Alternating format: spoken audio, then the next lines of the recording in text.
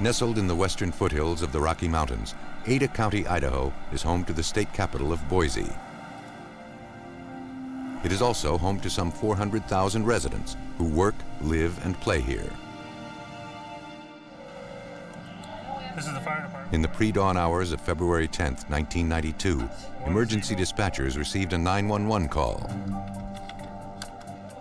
A man reported that his house, a two-story duplex, was on fire.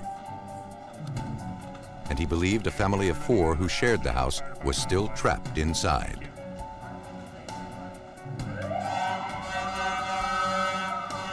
Within minutes, firefighters and emergency units from the surrounding area responded to the call.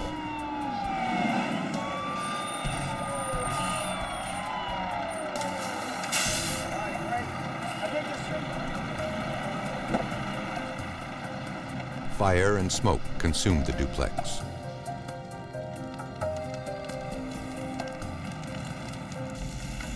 Firefighters struggled to bring the first floor blaze under control.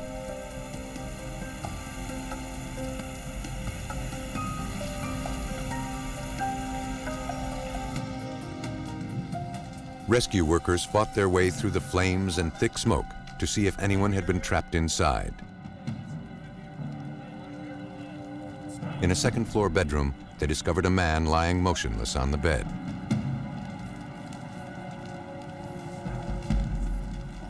A young girl was found on the floor a few feet away.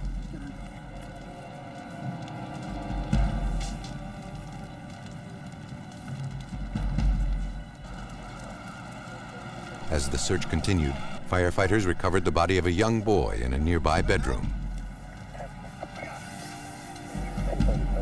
All of the victims were rushed outside for treatment.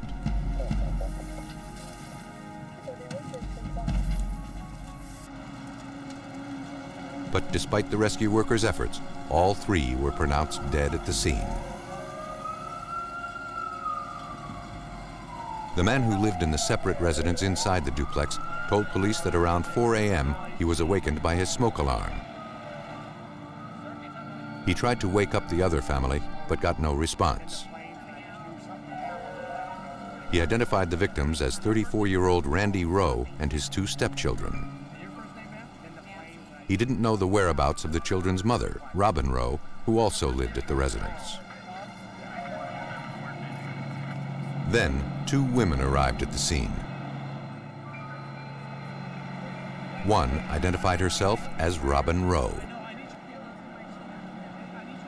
Visibly shaken by the news, emergency workers escorted the young mother away from the house.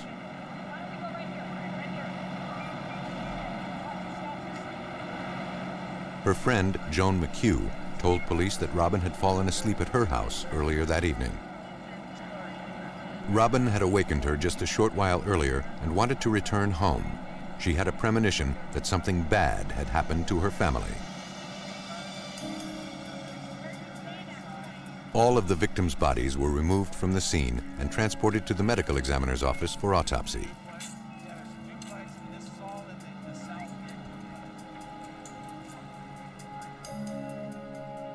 Now, Fire Marshal Doug McGrew began looking for clues to tell him how and why the fire started.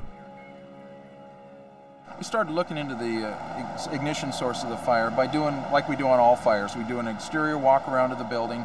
We look and see where the least damage is. We go there and we start working towards the areas where the most damage occurred. Once we get into that area, then we start digging down through and, and layering through the debris and trying to determine exactly what ignited the fire. Almost immediately, investigators made a strange discovery. The circuit breaker that controlled power to the family smoke alarm was in the off position. But that did little to explain how the fire started. And because the damage was so extensive, finding those answers would take time. Within hours, autopsies were performed on Randy Row and the two children. The medical examiner found lethal amounts of soot and carbon monoxide in each of the victim's lungs and mucous membranes.